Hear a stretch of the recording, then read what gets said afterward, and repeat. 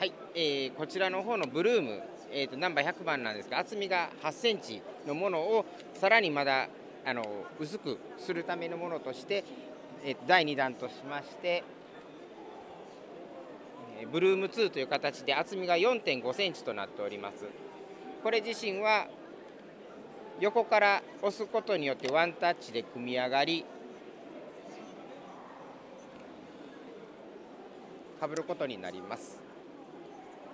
これ自身を今度折りたたむに折りたたむにあたってはここの爪を外すことによって折りたたむことができます。えーと、ワンタッチで組み上がるということと厚み4.5センチにすることによって、えー、カバンの中に入れて持ち運んでいただいたりあとはあのデスクの引き出しの方にあの入れて保管していただくことが可能になります。デザインに関しましてはあの少し角張ってはいるんですけども厚生労働省の方の、えー、飛来落下物の検定を合格しておりますので、えー、普通のヘルメットと同じ性能は持っておりますがあのあくまでも防災用避難用としてご使用していただければあのありがたいと思います。